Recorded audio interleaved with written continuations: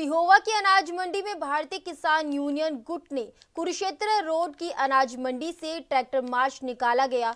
भाकियू के प्रधान गुरनाम चड़ूनी ने ट्रैक्टर चलाकर मार्च की अगुवाई की। यह ट्रैक्टर मार्च कुरुक्षेत्र रोड से होते हुए मेन चौक पर पहुँचा। यहाँ से कैथर रोड और अंबाला रोड से होते तहसील परिसर पहुंचेगा। इसमें 250 से ज़्यादा ट्रैक्टर लेकर किसान पहुँचे थे।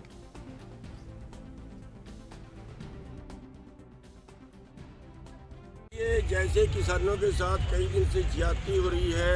हज़ारों आँसू गैस के गोले दाग चुके हैं, हज़ारों प्लास्टिक की गोलियाँ चला चुके हैं, सैकड़ों किसानों को घायल कर चुके हैं। और हमारी मांग जो है वो बड़ी वाजिब है, वो गैर वाजिब नहीं है। हमें मेज पे बैठ बैठ के या तो ये बता दें कि आपकी मांग गलत है, आप गलत उठा रहे हो। इससे देश का नुकसान है, इससे समाज का नुकसान है। तो हम अपनी बात को पीछे वापस कर लेंगे। और अगर हमारी ठीक है तो हमारी मान लें। और जो वादा किया है एक बार वादा कर लिया और वो ट्रका के मुझे भेज दिया दोबारा से फिर वो नहीं मानी। तो इसका मतलब ये है हमें वो उकसा रहे हैं। तो इस तरह से जो है आ, हमारे बात मानने की बजाय हमारा आ, जो है वो आ, इस तरह से अत्याचार हमारे ऊपर कर रहे हैं।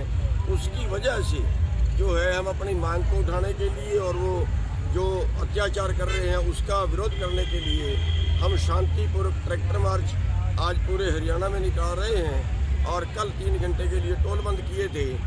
और अभी कल को जो है पूरे हरियाणा के सभी सेक्टरों की मीटिंग बुला के उसमें अगली रणनीति तय करें। राम जी आप पूरा समर्थन आप जो शंभू बॉर्डर पर बैठे हैं किसानों का आप उनका पूरा समर्थन कर रहे हैं? देखिए समर्थन कर रहे हैं तभी हम बीच में हैं समर्थन ना करते तो हम ग्राउंड पे जो आप जो आपको नज़र आते। हैं तो गुरनाम जी तीन बार वार्तालाप हो चुके हैं सरकार के साथ बैठ के और संडे का जो दिन बताया जा रहा है कि दोबारा जो है बातचीत केंद्रीय मंत्रियों के साथ की जा रही है तो उसको लेकर आपका क्या कुछ कहना है? देखिए मैं उस बातचीत में शामिल नहीं रहा हूँ और जो भी भाई उस बातचीत में गए हैं उनको पता होगा लेकिन सरकार से मेरा अनुरोध ये है कि इस मामले को निपटाए। जो अगली इंटरनेट सेवाएँ बंद की गई हैं और आम जनता भी को भी काफ़ी परेशानियों का जो है सामना जो है करना पड़ रहा है। ये तो जनता के मौलिक अधिकारों का हनन है। उनका नेट बंद कर दिया। इससे क्या क्या हमारी सूचना